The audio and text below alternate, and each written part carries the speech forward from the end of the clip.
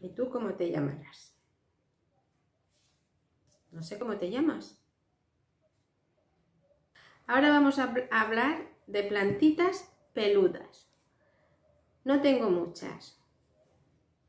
Las que tengo aquí en la mesa y una más que os voy a enseñar ahora que está en la terraza. Vamos a empezar. Empezamos por esta. No sé su nombre. No es peludita. Esta no es peludita. Pero si la tocas y tiene sus hojas porosas. No sé, como si tuviera pinchitas. Una cosa así. Si alguien sabe su nombre y me lo dices, yo estaría encantada. Es una planta fuerte. A mí me gustan las plantas fuertes. Eh, tiene aquí dentro de sus hojitas, tiene tierra, están en la calle y cuando mueve mucho viento, pues se le acumula se le acumula la tierra y ahora yo no les paso porque está lloviendo muy a menudo y no les echo agua. No le estoy echando hace lo menos dos meses que no les he puesto agua ninguna porque está lloviendo muy a menudo. Bueno, esta es una. Esta es una Echeveria pulvinata. Mirad qué cosa más linda. Está a punto de florecer está a puntito de florecer. Mirar el tallo que ha echado. Yo creo que esto no es una vara floral. La vara floral quizás sea esta. Está para cortarla, pero ahora no quiero cortarla hasta que no termine su floración. Ahora aquí tiene otra. También, mirad. Está a punto de florecer. Tiene varios hijuelos. A ver así. Es una planta muy elegante. Yo la veo de esas plantas elegantes, peluda, delicadas. Así es como la veo yo. Tiene varios hijuelos por ahí dentro, de hojitas que le han ido saliendo. De alguna plantita, porque ya veis cómo está, que pues con el rose cualquier cosa cae alguna hojita y por ahí tiene varias que están saliendo. Aquí tiene una súper bonita, mirar. Bueno, yo aquí tiene otra. No sé si se ve bien. Bueno, estoy encantada con ella. La tengo cuidándola con muchísimo cariño y cuando termine de florecer lo que haré es que la cortaré por aquí. Ahora no quiero cortarla. Bueno. Una preciosidad de planta. Esta es casi igual, pero es una cheveria setosa. Mira qué maravilla.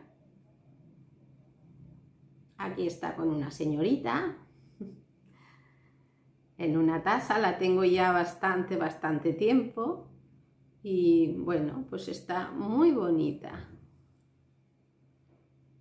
Esta es otra, es casi distintas variedades, pero casi la misma.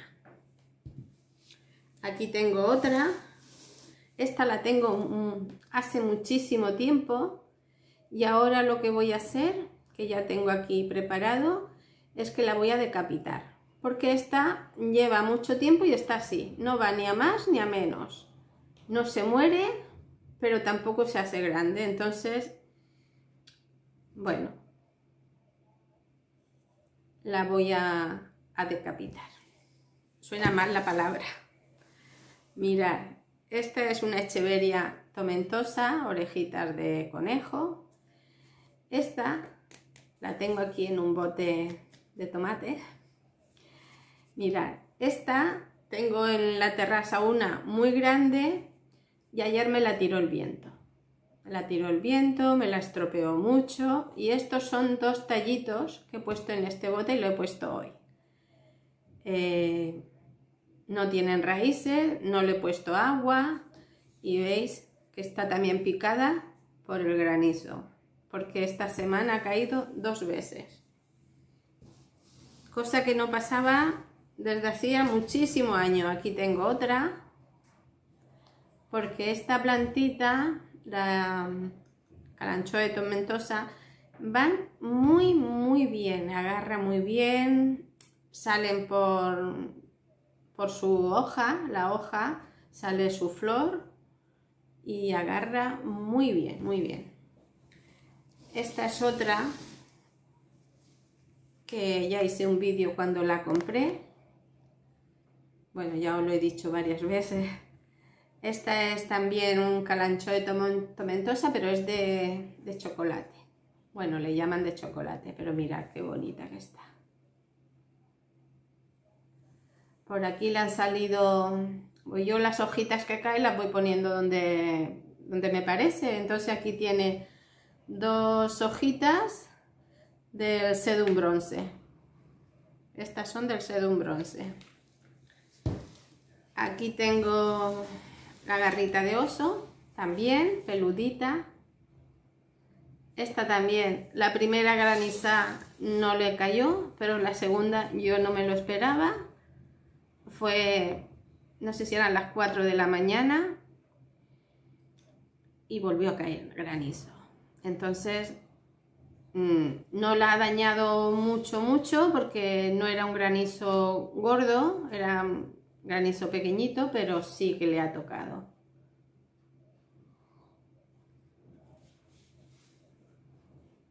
Esta está preciosa, me encanta esta planta. Es la garrita de oso o cotiledón tomentosa. Garrita de oso, ahí está. Sus garritas no tienen el color que deberían de tener. Deberían de estar las garritas en un tono amarronado, pero no están. ¿El motivo? Pues que no da mi casa al sol durante el invierno. Da un reflejo muy, muy poquito, dos horas, pero no le da de lleno, sino como un reflejo. Entonces ese sol bueno, pues no es lo suficiente para que ella saque las garritas y cojan ese tono marrón. Pero bueno, son dos o tres meses que hay que pasarlo y las plantas no se mueren, no se mueren porque no les dé el sol, lo único que no tienen ese color pues tan bonito que tienen que tener las plantas, coger esos tonos al no darle el sol, pues no lo tiene. Pero están muy sanitas. Aquí tengo el calanchoe bearensis, colmillo y esta lactita. Mirad, una planta preciosa también, ¿veis? Peludita, peludita, dura, fuerte.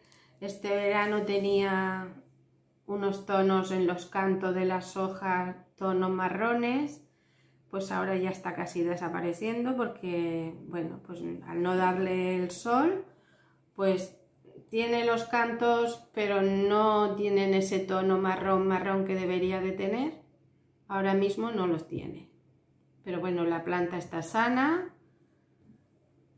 y está pasando el invierno. Y veréis, también peludita, hoja grande, también está picada muchas hojas, también le cae el granizo. Eso es algo que no puedo... Pasó dos veces seguidas en, en dos semanas distintas y bueno, pero bueno, la planta está picadita del granizo, pero están sanas. Yo me imagino que, que se le irá. A ver si no coge ningún hongo ni coge nada por donde le ha picado, pues la planta sigue sana. Mira, qué cosa más linda. Es preciosa esta planta, ¿eh? Mirad el reverso de sus hojas. Son como estalactitas Y aquí está el Bearensis, mirad. También peludita. Hojas grandes, sanas. A esta no le cayó el granizo, aunque le cayó un poquito, pero no le ha afectado tanto. Ahora vamos a decapitar esta. A mí es una cosa que no me gusta. De verdad que yo sé, yo sé que las plantas para reproducirla y todo eso hay que decapitarlas. Pero a mí personalmente me duele en el corazón tener que hacerlo. Pero esta plantita ya veis que no va, no va más.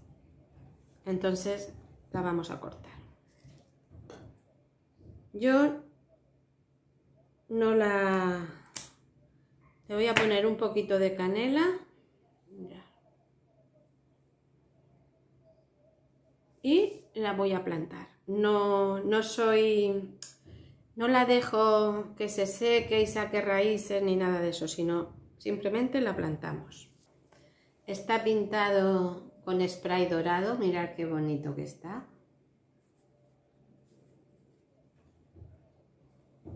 Y este es un bote de tomate de kilo. Está pintado también en spray, lleva debajo dorado y arriba rosa. Por eso tiene ese tono así tan extraño. Hay que reciclar todo lo que se pueda. Ahora la colocamos aquí.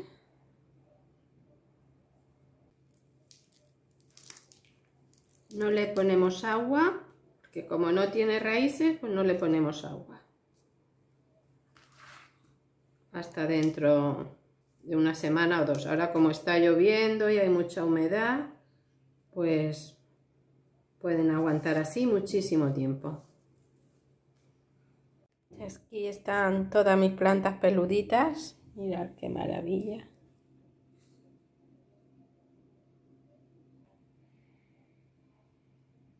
Pulvinata. Esta ya os he dicho que no sé su nombre, mirad.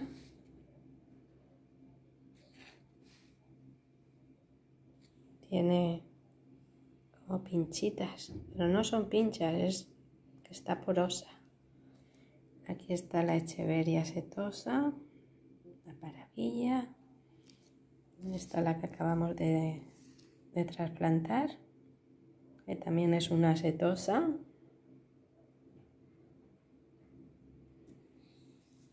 Calanchoe. Calanchoe que ahora mismo pues no se ve muy bien porque bueno pues el granizo le ha afectado. Esta es la única el único tallito que tengo de esta de este de chocolate el único. Por eso lo tengo tan cuidado pero bueno ha caído granizo. Aquí está la otra por aquí la garrita de oso